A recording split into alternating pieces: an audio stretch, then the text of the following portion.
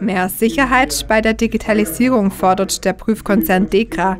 Für das Stuttgarter Unternehmen seien die Vorteile zwar unbestritten, doch noch gäbe es zu viele Negativschlagzeilen, wie beispielsweise Datenklau oder Todesfälle mit autonomen Fahrzeugen. Es gibt äh, zu wenig Regulatorien und gesetzliche Vorschriften derzeit, wie wir solche Geräte der Zukunft testen können und dürfen. Die Fahrzeugprüfer fordern deshalb unter anderem international abgestimmte Sicherheitsstandards. DEKRA selbst hat im vergangenen Jahr 150 Millionen Euro investiert, vor allem in die Stärkung der digitalen Prüfkompetenz.